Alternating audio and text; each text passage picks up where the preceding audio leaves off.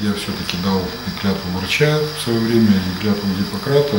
Задача врача – это быть отзывчивым на боль человека, на его страдания. И, конечно, я не помню ни одного дня, чтобы мне кто-то не позвонил и не задал какой-то вопрос на медицинскую тему или не попросил какую-то консультацию. Воскресное время, э, воскресный день – это единственный день, э, когда у меня нет каких-то э, мероприятий, особенно во второй половине дня, как правило, никаких совещаний.